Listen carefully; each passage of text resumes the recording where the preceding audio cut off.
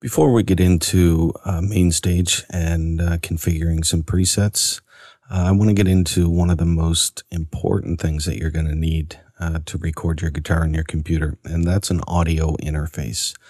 Uh, the audio interface uh, typically is USB or it could be a Firewire, depending on what you get.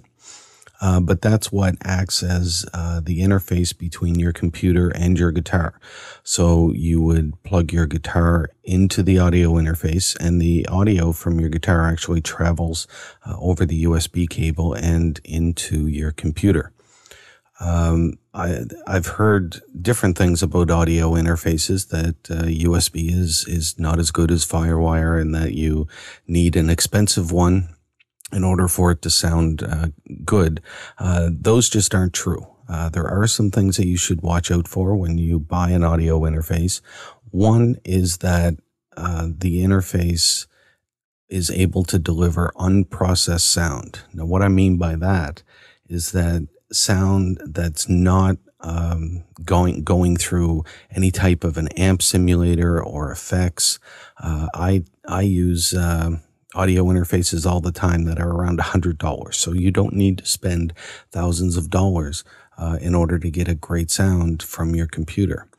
Uh, there are some Line 6 interfaces. Uh, Mackie has some great interfaces.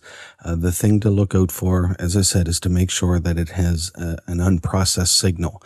If not, what will end up happening is that you will make a preset based on uh, the sound that you currently hear. Now, if your sound uh, from the guitar is processed in any way, you're not getting a true signal. And that's very important. It's, uh, it, it's something, a mistake that, that happens to quite a few people. And it's unfortunate because then when they, um, when they try and play the uh, preset that they make on the computer, it just doesn't sound like they thought it would.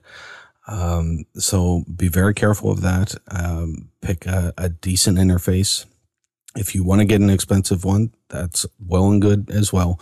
Uh, but uh, make sure that it'll send a clean signal to the computer.